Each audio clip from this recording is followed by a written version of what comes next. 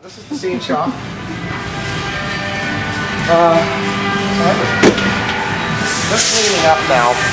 But anyway, this is uh, the framework for the Tempest. And what this is going to be, is by the time they're done, it's going to be a big mound of sand.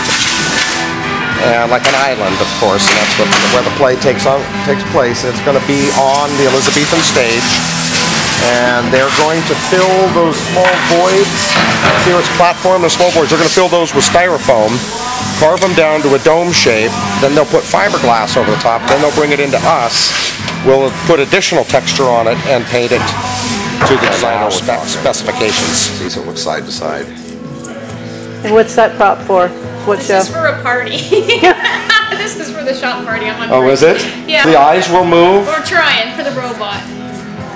Yeah, there's a interesting. We have a theme party every year. We've had things like the science fair and the carnival and the Y2K hoedown, and there's always a good theme. And this year it's the Olympics, like oh, awesome. We have a thing here we call Plan B, and Plan B is if something electronic or mechanical does not work on stage, we have a second, a way to get out of the problem uh, a plan B, basically. Get the person on stage if the elevator doesn't work. You have another way to get him on stage. So what we are making is we have a guy downstairs that his sole job is to make. I'm very important, so don't interrupt me. His sole purpose is to do the computer moving on stage. So when you see scenery move on stage mechanically, it's done via computers with step motors, the same sort of technology a, a printer uses and so forth. So he's making a Libby robot, which was, and it's Plan Lib B.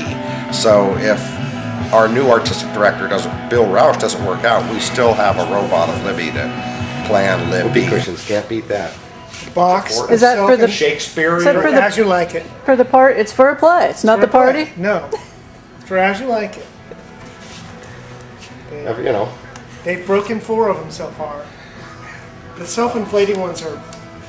See, this whole room used to be full, all the way down to that end, of shelves full of props. Furniture, props like that. This is uh, baskets, lamps again. These are props that didn't get put away. Large paintings, um, figurines, more paintings, books, vases, suitcases. I mean, pretty much everything you need to put on a play. Since plays are about everything, Got to have a little bit you of. gotta have a little bit of everything. This room here is uh, what we call the mixing room. And it's, uh, we mix everything from black and white house paint, and then we also use uh, Cal Western acrylic paints. That's what we mostly use to paint our scenery. It's very durable, works well outside, brilliant colors that you can water down and use for washes and glazes and so on. And we have various sealers and textures and we can tint our paints with the same tinting colors they use in paint stores. And we also then we have metallic paints for golds and bronzes. Then we have down here dyes for doing fabrics and soft goods and banners and flags and backdrops if they need to be supple, still keep their hand. And of course, every day, big time cleanup. That's, I swear to God, part the biggest part of my my work sometimes. And uh, we have, you know, all kinds of tools that we use. We do everything from airbrush in a very grand style with auto sprayers like this.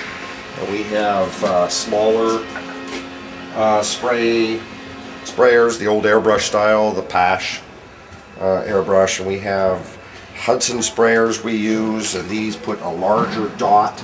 These are garden sprayers, filled full of paint. Spatter the scenery with them. Anyway, that's basically the tools we use, and of course our brush selection, different every different shape and style of brush, because we're asked to do so much, from drawing a straight line to patinaed copper to uh, distressed bronze. I mean, it just goes on and on, but we do it all.